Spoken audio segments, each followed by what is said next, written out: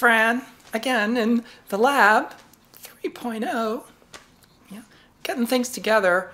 Still, um, still weeks away from having like a real functional space. Um, I've got some work to do still in the office. Uh, it's about halfway done. The studios I haven't even started, and uh, the other workstations I'm still let's you know it looks kind of cleaner here, but outside the camera shot it's still lots and lots of crates of stuff not yet sorted. So uh, lots of work to do. But I'm going to be answering questions from uh, my patrons. Uh, post uh, on Patreon, and too many questions for me to possibly answer, but uh, I've, I've, printed out like a couple pages of the ones that are like best for me to even try to answer or discuss. Um, so uh, yeah, I thought I'd just dive right into it. First, uh, Fluffy asks uh, if you could collaborate with anyone on a project, who would it be? And what would the project be? Uh, this question comes up a lot in uh, comments about collaboration, and uh, it, has been brought up many times and uh, over many years. And it's not for lack of trying. I mean, I, I there's like no mystery to it. Uh, all the makers, bloggers, people in the e-YouTubing community, we all know each other. Uh, we all know we're out there uh, and we talk to each other about things. It's, it's not like it's not like I don't have any connections to do a, a collab with anyone. It's not that. Um, just when it has come up uh, between me and someone else to do a project, it always just stalls. The, the problem is doing a collaboration, a remote collaboration, when you're not going to be in the same room with somebody to do a project. Um, you know, it's it's not like Andy Warhol and uh, Basquiat like in the same room working on a painting, painting over each, you know, just slapping paint and like working like right there at the same time on the same thing. Collaborating on YouTube, it, it means long distance collaboration. Now I did the uh, Project Egress, which is probably like the ultimate collab that I could, you know, think of for myself, you know, collaborating with uh, Team Tested and uh, Adam Savage and all that.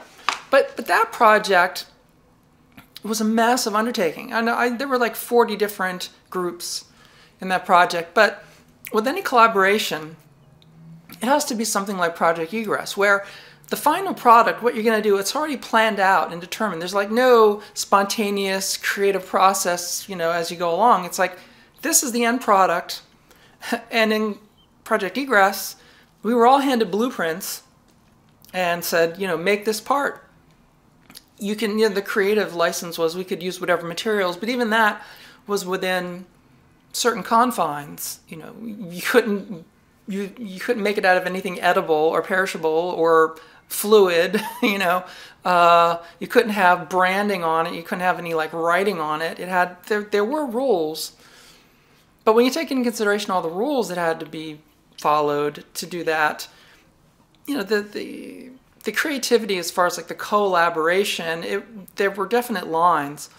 But, but even so, the only way that that even worked was that there was a, you know, a lot of people just administrating that project, just getting, keeping on schedule, communicating with all the different makers, making sure that everything was going to, you know, be like to, to meet expectations long beforehand. So it comes down to the idea of collaborating with someone else. The fund, the, like the final product, whatever it's going to be, it's got to be determined, like like rigidly determined before you even start. And then you got to divide up what I'm going to do, what you're going to do. Uh, you have to have deadlines. You know, your part's to have to be done by this point, or my part's to have to be done by this point. And and then, you know, it's it's basically like it's like Apollo Soyuz with that coin. It's like, yeah, this part's made over there, this part's made over here, and then there's got to be some grand event where the two things click together and it works. But honestly, what's the point? You know, if I was to do a project where I could know the end game, why wouldn't I just do all the parts of it and throw it together in my own time and solve all the problems with integrating all those things when the problems had to be solved? The, the, difficulty and logistics of having a project that you're splitting between you and someone else, it's an order of magnitude, or probably maybe two orders of magnitude more than just doing it all yourself. And the time frame and everything is just there's no point to it. So this is why it just doesn't happen. You know, I know dozens of makers. We've we've all done you know hundreds, maybe thousands of projects over years. We've never collaborated together because it's just close to impossible to do it. Uh, it's just, and when you take into consideration all of those things, the, the, the book of rules that you have to come up with before you even start, and the massive amounts of daily communication you have to have just to keep it on track, and and the bullying you have to do because if you invest weeks in a collaborative project and the other person just putters out and just doesn't finish their side, you're out of luck. You know, what, what, have you done your work for? And then you're bullying them to finish it. You're bullying them to stay on schedule, or they're bullying you because you've got other things that have come up and like there's timetables and so. Why would you subject yourself to that? Why would you agree to be a part of a collab if you know that you're subjecting yourself to that? So it, it just doesn't happen. So um, people want the content, but on our side, the makers, when it's all said and done, it's just it's just too painful and expensive and problematic to do except once in a blue moon. I mean, I would do a collab again. Um, Project Egress was grueling. Uh, I think at the time I said that it was the most challenging and exhausting project that I had ever done in my life. It was probably true. Um, but, uh, you know, uh, would I do it again? Uh, probably, if things were lined up where I had the luxury of the time to set aside to do it and if the project were worthwhile enough and you know project egress was a pretty worthwhile project there was a pretty grand uh, finale for that it wasn't your average like collab so um, never say never but uh, but yeah those collaborations are few and far between for all those reasons. That was a long answer to a short question. Uh, all right. Odie Coyote says, Hey Fran, since you have built guitar pedals for so long and seem to have a great background when it comes to finding historical information and obscure electronics questions, do you have any idea as to why guitar pedal DC barrel jacks tend to use reverse polarity, that is the negative on the center pin, positive on the outer uh, cylinder, compared to most conventional barrel DC connections in the final why? Well, um, the, the barrel jack configuration for effects pedals really comes from the Japanese makers, Ibanez and uh, the others from the 70s and 80s era stuff. And the Electro-Harmonix diamond boxes did have like a 24 volt plug-in adapter, but I will stick with like the 9 volt pedals. Um, so the Japanese pedals.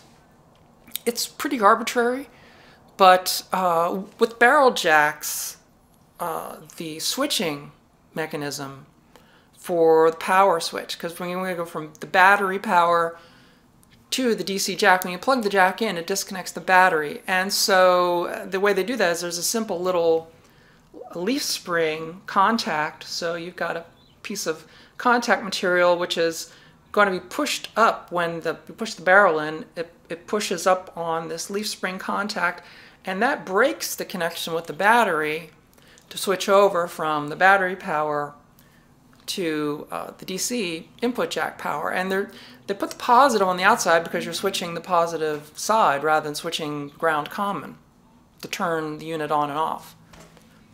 That's usually why it's done with the positive on the sleeve. Uh, the opposite was true in the 70s uh, with the eighth inch phono plug power supply, which usually was grounded on the outer sleeve. The you know, outer jack was, was grounded to the chassis, and those would be tip positive because when you would insert those, it was the tip contact that would disengage uh, the battery power and switch over to the internal power positive tip. But it depends on which part of the jack mechanism is switching the power. So that's it, it is arbitrary, but uh, but that's the best uh, explanation for the standard that I can come up with. So, all right, uh, Robin Banks asks, are you ever just totally not in the mood to do electronics, tinkering, and the cool creative stuff that you do? What do you do when that happens? Well, yes.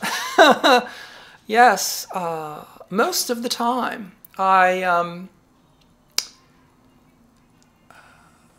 most of the time I am not doing the cool tinkering stuff. I, I guess that the what you'd think from the outside is that I, I kind of live here in this lab space and I, you know, come in, you know, the, the dawn breaks, the sun comes up, it's just barely dawn and I'm in here working away. You know, I don't do that. That there, there's, there are tons of things that I have to do every day, regardless, like every single day, that have nothing to do with anything that happens here at this desk or anything that happens to do with FranLab. In fact, about 95% of my time is spent doing non-FranLab stuff. It's just, you know, uh, I run a business and like probably 60-65% of my work time is in simple business administration. Doing the books, accounting, doing all the on, keeping tending all, all the online presence and the different platforms that I have to monitor every day, dealing with comments, answering questions, emailing people, um, solving problems, looking for things that I have to search out, getting supplies, running errands to get things to bring in here and scoop things together, keeping on top of stuff, planning, planning, planning, planning, um, doing the regular like cooking and brewing the coffee and cleaning and having to do the, getting my car fixed and stuff like that. Just the regular doodah everyday stuff and in the city, there's lots of obligations you don't necessarily have out in the country, so I've, that stuff's piled on too. I got to take care of my parking situation and this thing over here and blah blah blah. Um, just 95% of my waking time is spent doing stuff that has nothing to do with FranLab. So it's like, uh, yeah, the, the the creative time. It's usually when I have the time to actually do the creative stuff it's at the end of the day, you know, long after the sun's gone down, when I'm trying to unwind because I'm just so physically exhausted that I just have to rest. And that's when my mind wanders and I, I do all of the uh, mental thinking about the projects that I want to do, things that I have to do the next day or the following week or this week or things I have to get done and I make up start making my lists of things I have to do, take care of, hunt down, yada yada just all these nuts and bolts. I, I because I don't have an entourage, a staff of people who are doing all that stuff for me. You know, the the really really big channels, you know, Adam Savage's channels, all the, these other things. These people have staffs of people doing all that shit for them. They're not going out and having to get groceries in the middle of the day and then take care of their car and and spend two hours on the phone with some company because they got to hammer out something with their insurance that's, you know, all that stuff is taken care of. They're not bogged down in doing that. But I spend the majority of my time dealing with the same kind of completely non-essential crap that everyone else has to do. Um, so yeah, I, I, I wish I had the luxury of being creative all the time and doing what like famous artists who are paid lots of money do, which is that you know they they come to their studio in the morning, they paint all day, and they leave at night, and because they don't have to do all the other crap, you know. I, I have been in the office.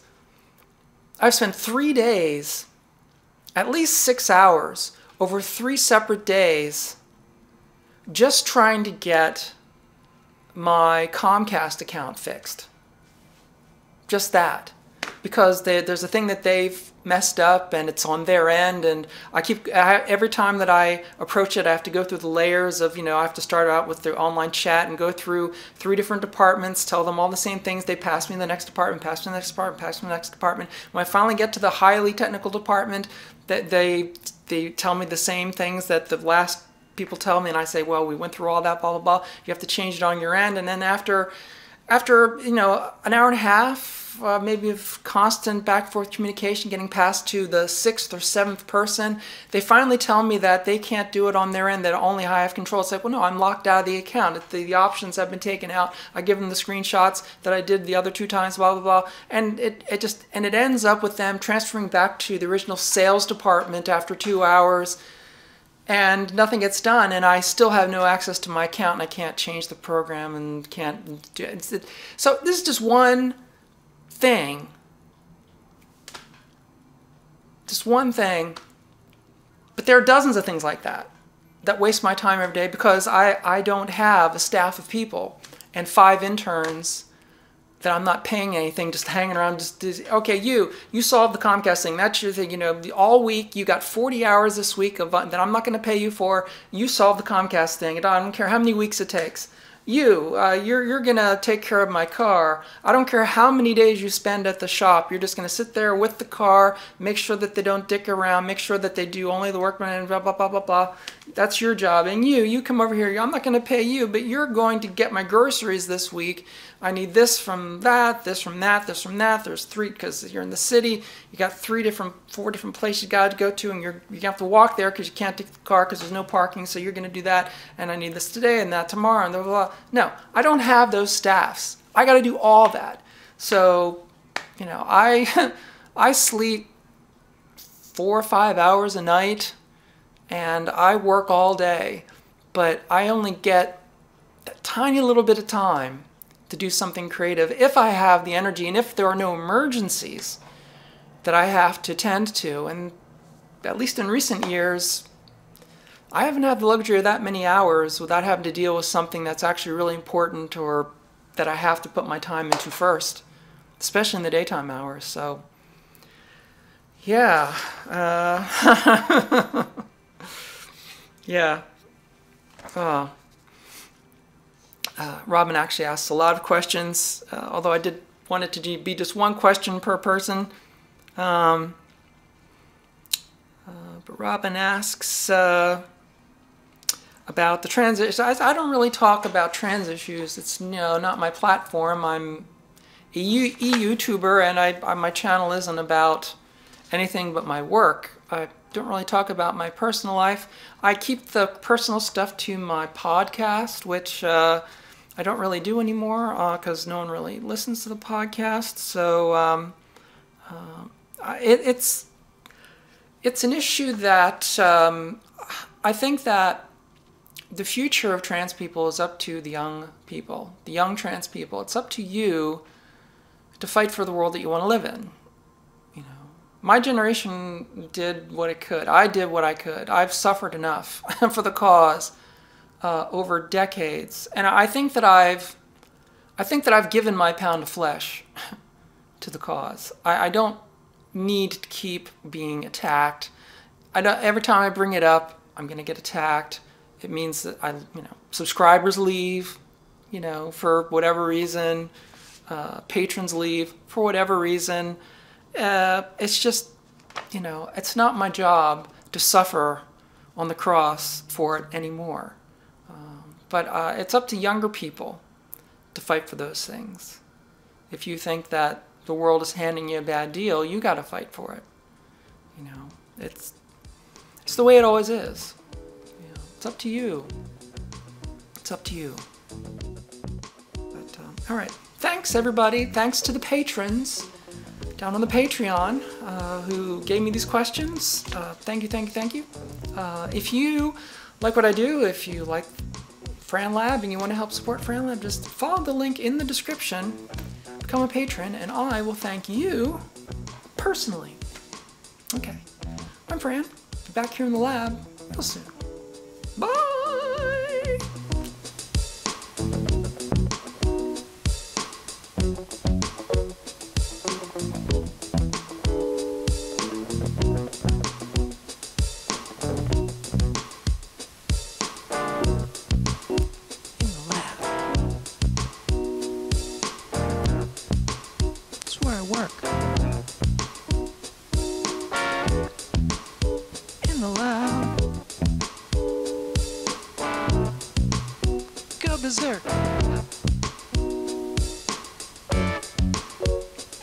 In it's where I work.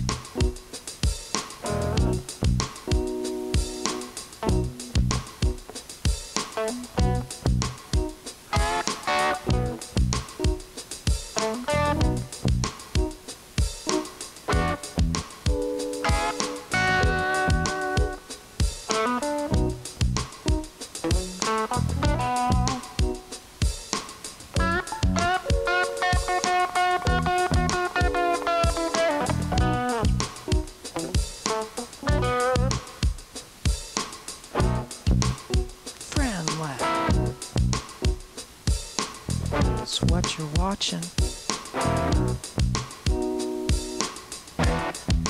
Friend.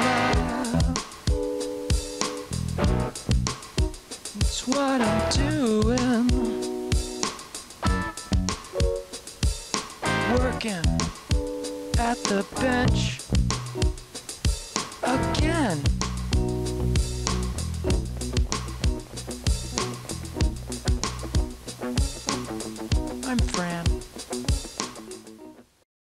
I'm Fran. Blah, blah, blah, blah.